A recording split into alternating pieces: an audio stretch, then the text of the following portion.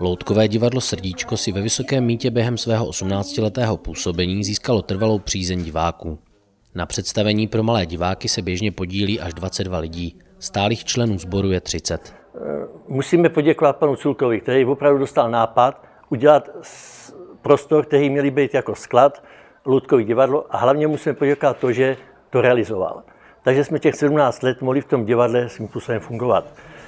Dalšímu člověku, který bychom měli poděkovat za to Loutkové divadlo, je Jan Havel, který to divadlo nasměroval. Pro svou činnost využívá zázemí v prostorách M-klubu, kde mělo svou materskou scénu i sklad loutek. Původní scéna ale nevyhovovala současným požárním předpisům. Proto v loňském roce město jednalo s loutkáři a ředitelkou Vysokomické kulturní o řešení této situace.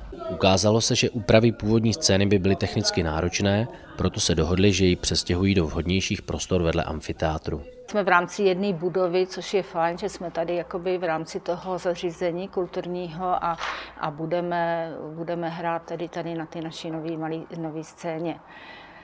Je pravda, že že se nám bude stýskat, že ta nostalgie tam je po té staré, staré loutkové scéně. Bylo to tam hezký, ale musíme samozřejmě se podřídit tomu, tomu, aby to vyhovovalo, aby to bylo bezpečné pro děti. Nová loutková scéna musela splňovat požadavky hygieniků i požární ochrany. Stavební úpravy prostor město provádělo od dubna do konce září letošního roku. Aby diváci v hledišti dobře viděli, byly řady sedadel stupňovitě zvýšeny.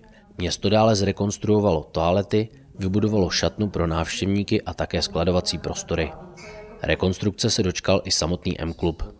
Tím, že byla loutková scéna přemístěna do jiné části, byly zároveň vytvořeny i větší skladovací prostory, které jsme velmi v zázemí městského klubu potřebovali. Současně s těmito pracemi byly modernizovány i pánské a dámské toalety ve foje společenského sálu. První pohádku uvede Loutkové divadlo Srdíčko v nových prostorách pravděpodobně koncem listopadu. Tady je čertovská štace, tady straší. Dnešním dnem už začínáme zkoušet novou pohádku, bude to premiéra e, Zapomnutého čerta, to, e, je to na motivy drdo, drdových e, daskabátů. Takže tím bychom chtěli děti tedy přivítat na té nové scéně. Děláme toto, eh, to, toto hru bereme i z toho důvodu, že, že je to vlastně hra i pro dospělé, protože předpokládáme, že se budeme chtít nějakým způsobem slavnostně to otevřít v dopoledních hodinách a předpokládáme toho 26. listopadu, že bychom hráli. Rodiče s dětmi tak budou sledovat krásné loutkové pohádky v pohodlí nových sedaček a souboru se bude zase o něco lépe hrát.